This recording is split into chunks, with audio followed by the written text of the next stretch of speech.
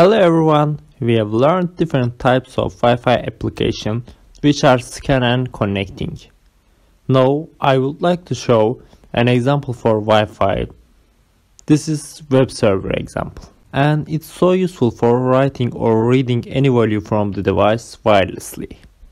Firstly, I would like to explain websites. Nowadays, all of us use internet and there are countless websites. How these are work, where the data is stored. These websites occur HTML, CSS, JavaScript, jQuery or any other source codes. And also on the websites there are icons, photos, videos or any other files. These files are stored on a server. Then when we would like to see a website, these files will come to our browser from the servers they are on. So on this example, we will see how to store web server files and show them on the browser. Let's start the machine.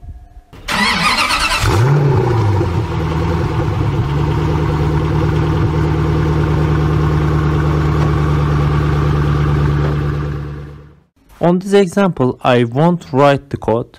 I'll explain the code that I've already written. Because the code is too long, it would be huge time wasting. I took the file server application as a reference. Let's look at main code. These are some libraries that I've used on web server example. These are Wi-Fi station SSID and password that the device will connect. These are Wi-Fi access SSID and password that the device will create a network. This function is used in initialization SPIFFS usage of ESP32. It means SPI flash filling system. So it's storage of the files that we uploaded to the device. This is Wi-Fi scan function. I stored the scanned network SSIDs on AP records.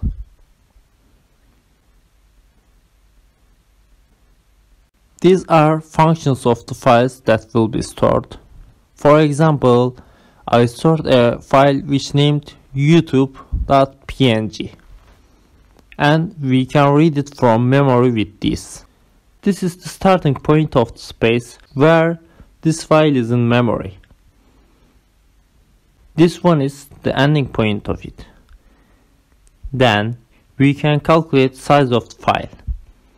The file type as PNG and with this function we can export the file on web server. This function is parsing the address bar.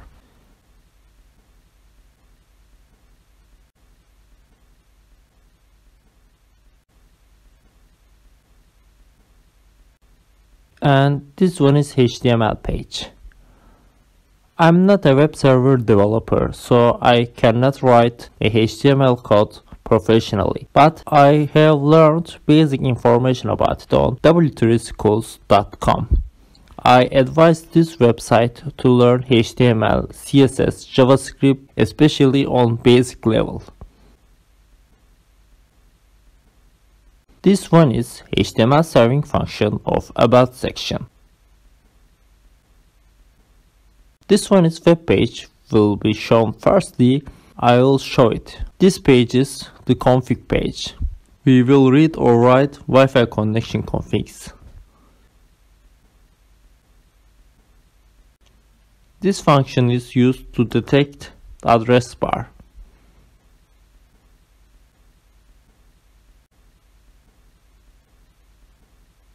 And this is the main handler of web server. When someone come our website, this handler will work. I parsed the address bar on there.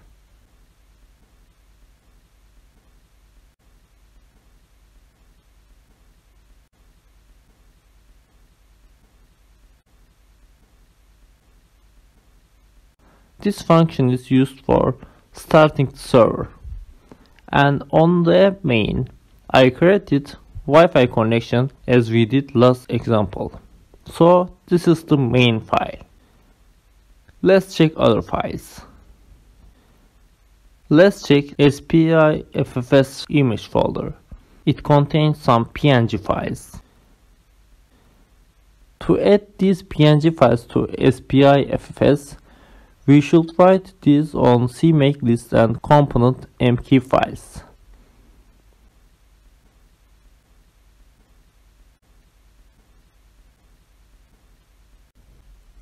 And let's compile and check the web server that we created.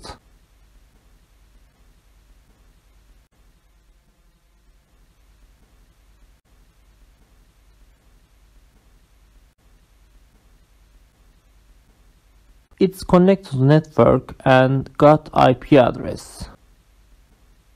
I'm also connected to the same network, so let's go to the web server. I've created this web server for the company. I won't use its files, I edit like that.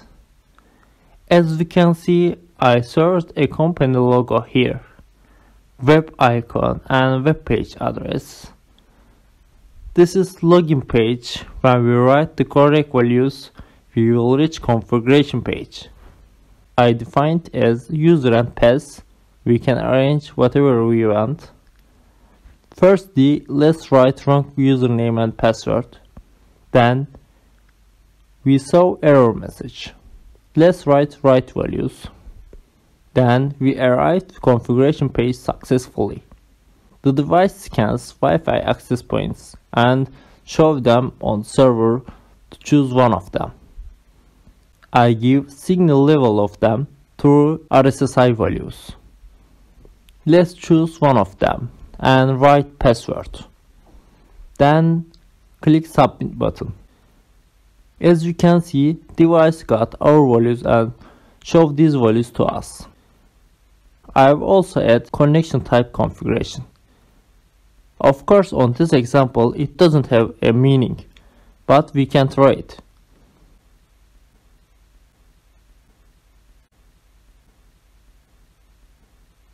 It works. So we can add any other configuration values to this page. Let's check contact page. There are information about company and when we press a social media icon or mail or website it directs to the page and there's a page that contains information about company. Lastly, let's check the terminal. As you can see, when we press any button, the device got response and got values that we write. So this is how can we use web server. It's a little long application, but it's very useful for file serving and configuration. That's all I am going to talk about today. Stay motivated and subscribe me. Let's control the controllers together.